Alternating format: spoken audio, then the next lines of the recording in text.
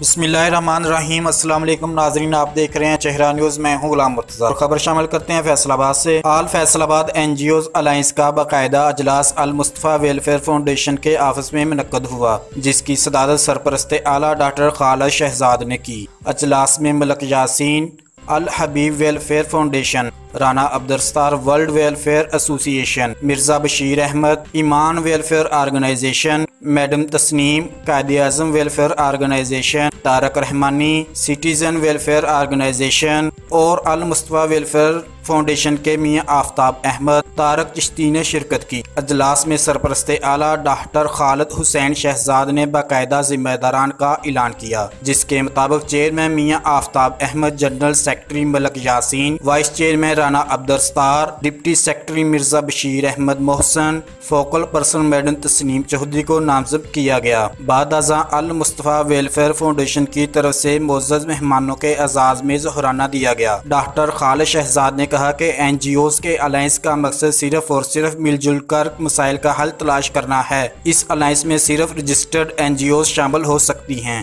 بعد ازاں رہنماؤں نے deputy director social welfare Faisalabad سے ملاقات کی۔